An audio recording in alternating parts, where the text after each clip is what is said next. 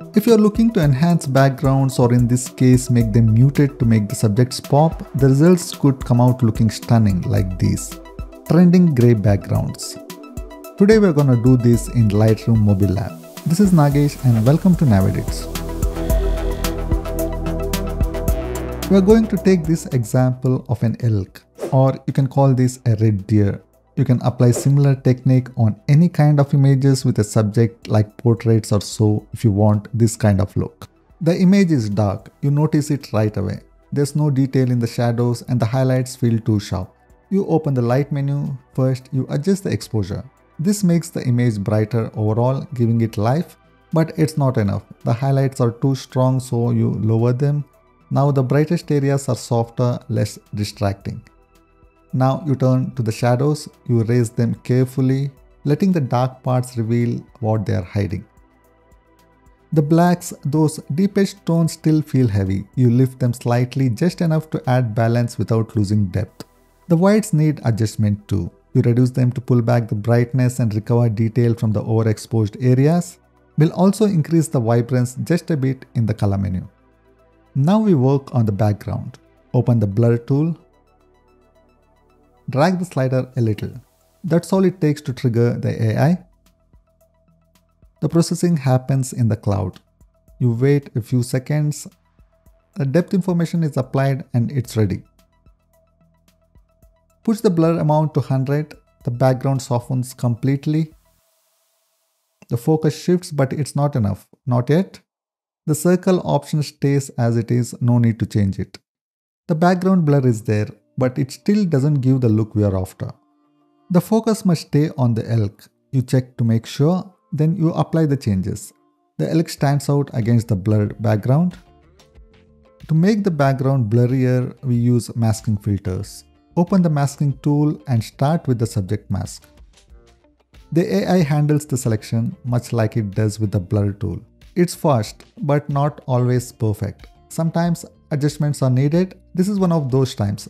This certainly happens on a rare occasion, especially when portraits are involved. The mask spills over, covering areas it shouldn't. You need to fix it. Go to the plus minus button. Choose subtract from mask and select the brush tool. Adjust the brush size, making it smaller for precision. Then carefully brush away the excess mask from where it doesn't belong. Take your time. This part needs to be right. Brush here and here until the mask covers only the subject. When the brushing is done, click back to the original subject mask. Now you see it, a clean, accurate mask. The edges are precise, the subject stands out. It's ready for the next step. The background can blur as much as you want, but the elk stays sharp. For this mask, I start by adjusting the exposure. I set it to about 1. This brightens the subject, making it stand out more. It's a simple adjustment but it does a lot. Next I move to the effects menu. Here I add clarity, it sharpens the edges, makes the details pop.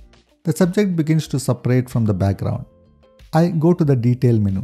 This is where I add sharpness, not too much, just enough to make the subject crisp without looking overdone. These adjustments work together, the brightness, the clarity, the sharpness, they build on each other. On the background, I start by duplicating the main mask. A long tab brings up the option and I select duplicate. You can also use duplicate and invert mask if you want to save a step. Either way, I will invert it. Before that, I reset all the sliders. When you duplicate a mask, the settings carry over and I want a clean slate. Now I invert the mask. This switches the focus to the background. The first change is the saturation. I lower it, pulling the colors down toward gray. It gives the background a muted tone, less distracting. Next, I go to the effects menu. To blur the background more, I reduce the clarity and texture to minus 100. This softens the edges, removes detail, and pushes the background further out of focus, but it still doesn't feel smooth enough. I adjust the sharpness and noise sliders, bringing them down as well. The background becomes softer. This technique creates a strong blur effect, but it's not enough. The background still doesn't have the look I want. I'll duplicate this masking filter a couple more times. Each duplication adds more blur to the background. It's a gradual process layer by layer, making the background softer and more out of focus. By the third duplication, I focus on making the background darker as well. I start by reducing the contrast. This flattens the tones, making the background less defined. Then I adjust the shadows, raising them to lighten the darkest parts slightly. Next, I lower the whites and increase the blacks. This evens out the light and dark areas creating a flat muted background. Finally, I reduce the exposure. This darkens the entire background pulling attention away from it and toward the subject. I don't want the effect on the elk's head. To fix this, I use the plus minus button and choose subtract from mask. I select a radial filter.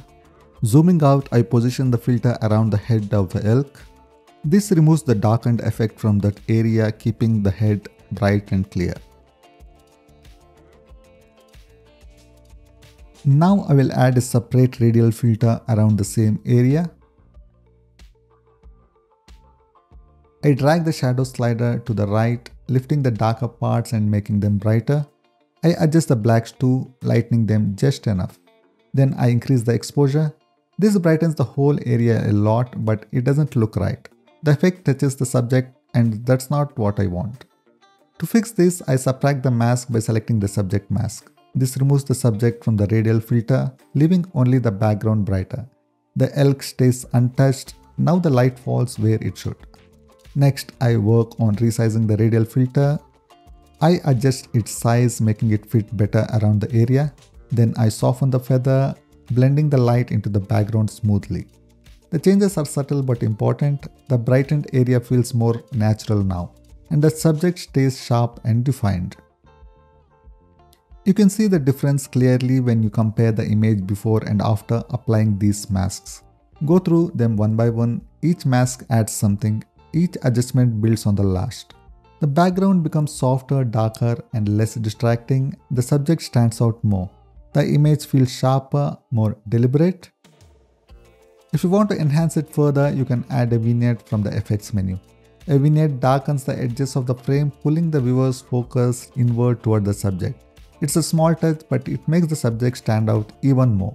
The edges fade into the background and the elk becomes the center of attention. You can always crop the image to make the canvas better. This is more or less how you create a grayish background with a bright spot to make the subject stand out whether it is for portraits or wildlife. Hope this video was useful to you all and subscribe for more. Thanks for watching.